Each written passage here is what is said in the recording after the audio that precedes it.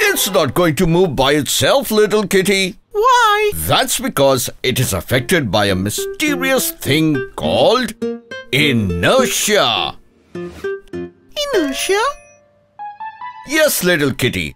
Let me explain it to you and our lovely audience out there.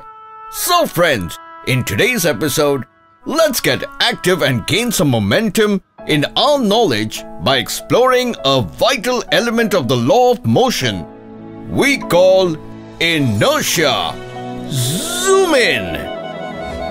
As soon as you hear the word inertia, you may think of it as a mystic force that keeps us from doing what we need to do, like doing our homework, eating broccoli, or cleaning your room. Although it sounds tempting to use the term inertia as an excuse to avoid work, it isn't what scientists mean by the word. Thanks to Sir Isaac Newton, a brilliant guy with a cool hairstyle, who gave us the law of motion that explains inertia as an object at rest stays at rest and an object in motion stays in motion with the same speed and in the same direction unless acted upon by an unbalanced external force. In simple words, every object stays at rest like this or stays moving at the same speed like this unless something makes a change. Isn't it easy peasy lemon squeezy, friends? Well, let us try to understand it further with the help of some cool animated motion graphics.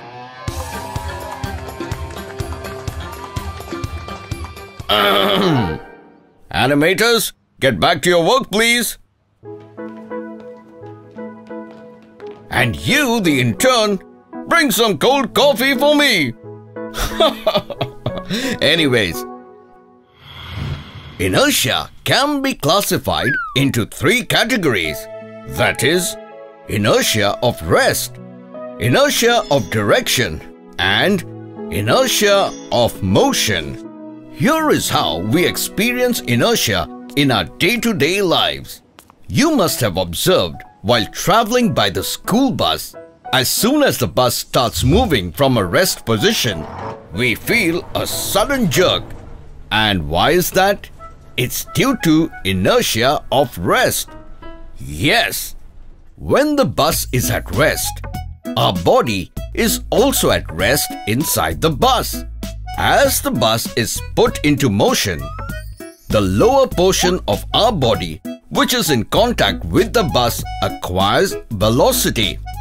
But the upper part of the body tries to remain at rest, making us fall back a bit due to the phenomenon called inertia of rest. That is a tendency of a body to resist any change in its state of rest. And once you are inside the bus, halfway to the school, and it takes a sudden sharp left turn, you will feel your body tilting towards the opposite direction.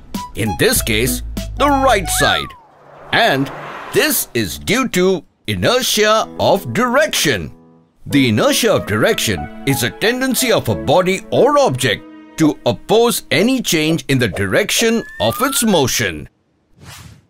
And after tossing and turning left and right, finally, when you reach your school and the moving bus suddenly stops by applying brakes, you will notice your body falling forward due to inertia of motion. And that is because when the vehicle is in motion, our body inside the bus is also in motion along with it. When the vehicle stops, the lower portion of our body, which is in contact with the vehicle, comes to rest. But the upper part tries to retain the state of motion and falls forward due to inertia of motion. Inertia of motion is a tendency of a body to resist a change in its state of uniform motion. And this is the reason Newton's first law is also called law of inertia. It's trivia time! Did you know in 1687 Newton published Philosophiae Naturalis Principia Mathematica? What is widely regarded to be one of the important books in the history of science. In it, he describes universal gravitation and the three laws of motion, concepts that remained at the forefront of science for centuries after. It's question time! Today's question is, what is the other name for Newton's first law of motion? Do write your answer in the comment section below and hit the like and subscribe button if you haven't yet to be a part of the Peekaboo Kidz cutesy fusy family and get a chance to get it featured by the end of our videos. So, here are the winners of the previous episode. Hope you enjoyed today's episode. Until next time, it's me, Dr. Binocs, zooming out. Ah, never mind. Hey kids, you liked my videos, didn't you? Before you go, don't forget to click on the subscribe button and the bell so you won't miss out on my latest videos. See you!